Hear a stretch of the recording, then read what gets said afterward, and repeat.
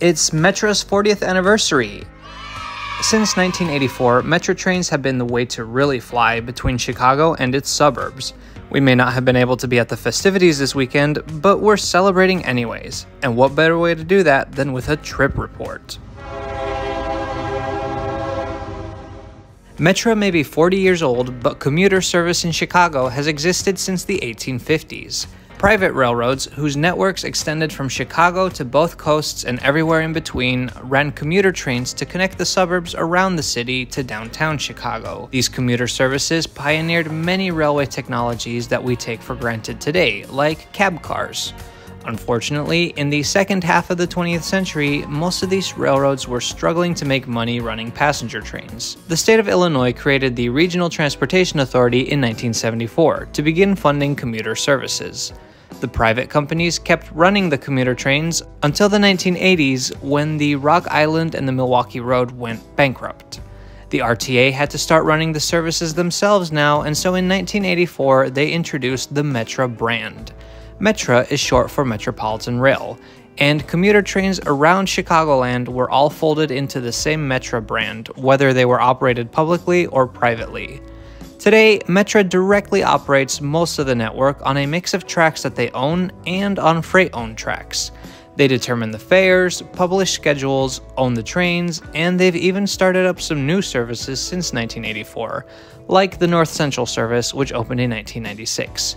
To commemorate the many railroads that led the way, a number of locomotives have been given heritage liveries, and you can learn more about those by clicking the link above. 10 of the 11 Metra branches are unelectrified and use diesel locomotives, but one, the appropriately named Metra Electric District, stands out from the rest. This line is electrified using 1500 volt overhead wires and it uses electric multiple units built by Nippon Sharyo between 2005 and 2016. The electric district has one main line and three branches. I've made videos on the South Chicago branch and the main branch, but until filming this video, I had never been on the Blue Island branch. This line sees less traffic than the other two, but it's been requested by quite a few of you, so let's go check it out. Hey everyone, welcome to a brand new Trains Are Awesome video. I'm Tom and I am standing at Blue Island Vermont Street Metra Station, just south of Chicago, Illinois. I'm going to ride the Blue Island branch of the Metra Electric District. I can see our train already, um, and I'm really looking forward to this. I'm on the wrong platform right now. This platform serves the Rock Island District, which is a diesel hauled line. Right over there is the platform for the Electric District, where our Highliner multiple unit is already waiting for us. Unfortunately, the transfer does involve crossing tracks and a street, kind of at the same time. Metra is nice though because there are a few places outside of downtown Chicago where you can transfer between lines. I mean, the schedules aren't really set up to make transferring easy, and I wonder how many people actually do it, but at least it is possible. There's our train, a Highliner 2 electric multiple unit. Though only a little over a decade old, you wouldn't be able to tell just by looking at it. It's got that same bare steel design that trains have had since the 1950s. In fact, the trains used to actually have more color on them than they do now. It's disappointing, really. I'm just not much of a fan of that utilitarian steel look of American trains. I am a fan of pantographs. I know diesel trains have their fans, but I personally love the motor noises of electric trains the best. Anyways, the absolute advantage that the electric line and these Highliner trains have over the diesel trains is that they have high platforms with level boarding. No climbing needed, I just got right on.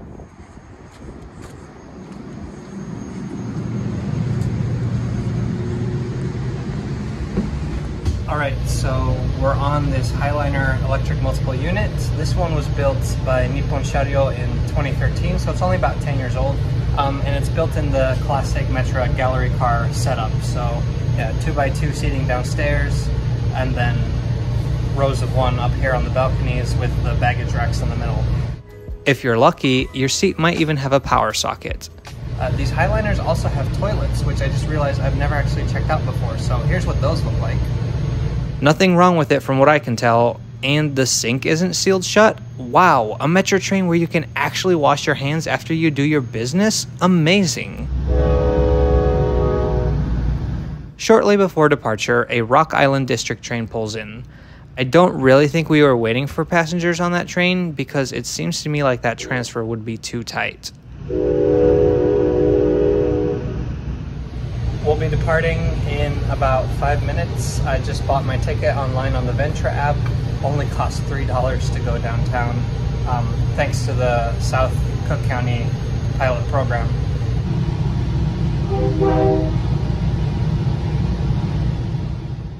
As the other train passed, I had a fantastic idea. I actually decided I'm gonna ride way in the back because then I can look out the back window. Millennium Station, departing at 9.18 a.m.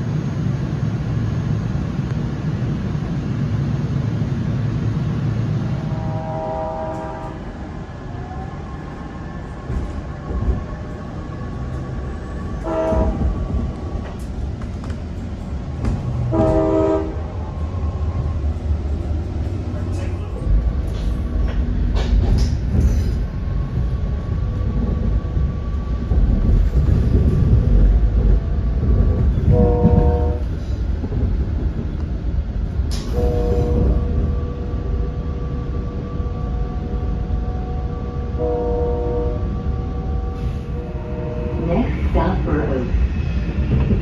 So the Blue Island branch of the Metra Electric District has the least frequent service of any of the three branches. On weekdays, there are 10 inbound trips into Chicago with 12 outbound trips. On Saturdays, there are only 4 round trips that use this branch, and on Sundays and holidays, there are none at all.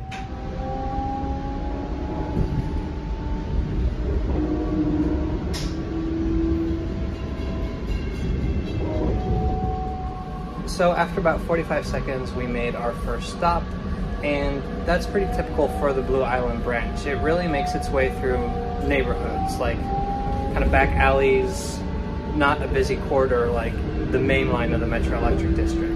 Uh, and what that means is that most of this line is single track. Though almost the entirety of the branches within Chicago city limits, this line feels very local, almost regional.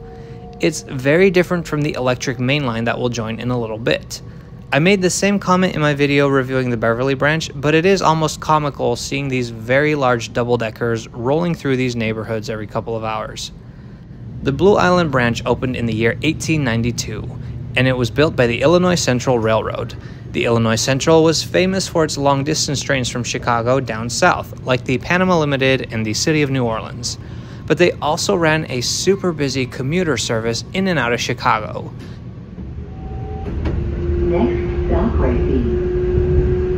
The early years of the Illinois Central commuter service saw a lot of changes.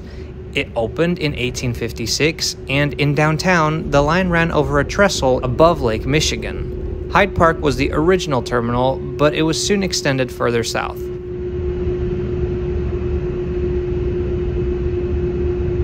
Now approaching Racine. After the Great Chicago Fire in 1871, the city built landfill up to and beyond the tracks, so now the tracks were firmly on land, and that area today is known as Grant Park. After the two branches were added, the Illinois Central began its most ambitious expansion project yet grade separation and electrification. Chicago was hosting the World Columbian Exposition in 1893, and the city needed to make the area as safe for visitors as possible. The railroad crossings had to go, and so the line was grade separated.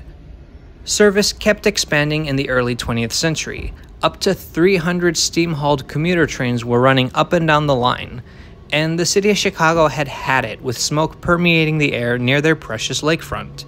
So they forced the Illinois Central to electrify their commuter lines. The railroad complied, and actually they finished the project well before the city imposed ultimatum of 1940. Electric trains began running in 1926, and both branches were electrified too. And this is kind of what frustrates me. We advocate for things like electrification and grade separation in cities all around the US because it would drastically improve regional rail service. Now approaching West. Yet it doesn't happen because it's too hard and it's too expensive. And then you look at the Illinois Central, and they did all of this over a century ago. It's not like we're reinventing the wheel here. What's more, the returns of the Illinois Central's investments were bountiful. Before World War II, ridership numbers continued to grow year after year. So West Pullman Station is the only passing loop on the entire line. That being said, I don't think we've traveled any faster than 30 miles per hour uh, since Blue Island. So far, it's only me and then this dad with his little son on the train, so three passengers. But like most passenger railroads, the good times didn't last. By 1977, the newly founded Regional Transportation Authority began funding the service. The Illinois Central ran their electric suburban service themselves with RTA money until 1987, when Metra paid the railroad $28 million to take over the line and the service. And that's pretty much where we are today. However, riding this little used Blue Island branch, the stories of grade separation can seem a little foreign. On this branch, there are plenty of railroad crossings. I kinda like the nature of the electric district where there are these small feeder lines that provide access to the big, busy main line. I also find the station design on this branch pretty funny. Many stations are made of wood with very basic facilities and a short length. There is something to be said about the consistency.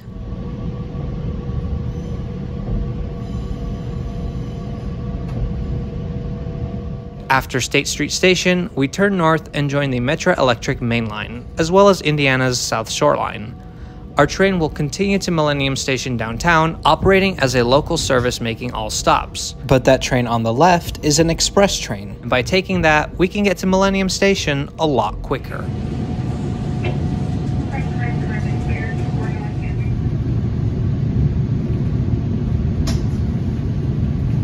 Now approaching Kensington.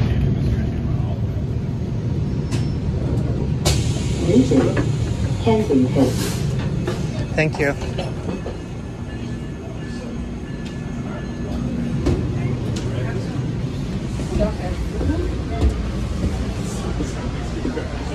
A timed cross-platform transfer on Metra. I'm speechless.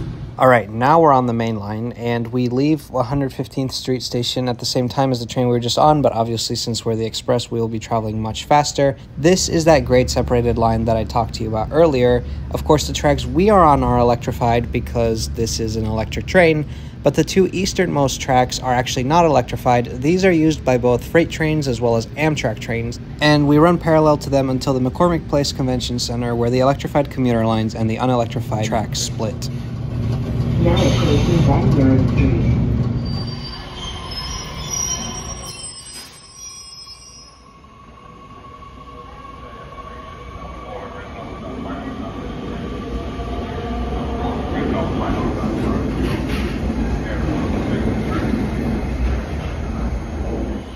Wow, that transfer to the Express was the best surprise of the day. I guess if I had looked at the schedule closer, I might have been able to figure it out, but still. I'm here at Van Buren Street about 15 minutes before I thought I would be, so a win is a win. We're ending the video here at Van Buren Street to pay tribute to the soon-to-be-gone Parisian Metra entrance. This entrance, which looks just like the Metro entrances in Paris, was a gift to the city of Chicago from Paris. And because Metra is renovating the station, they're just going to get rid of it without moving it somewhere else. Goodbye, old friend. You deserve better than this. Anyways, the Blue Island branch was a lot of fun to ride. Like I said, a lot of people had recommended it, and I enjoyed it. It was cool to ride a line that, you know, had a very, very local character. Like it was just running through these narrow alleys behind uh, several residential areas, but also just straight through this field of solar panels. Very different from your regular Metra experience. And I love electric multiple units. That's what I grew up riding. So I will always look for an excuse to ride those. Anyways, thank you so much for watching. If you enjoyed this video, please subscribe to Trains Are Awesome. This is why they call it the Windy City. We'll see you next time.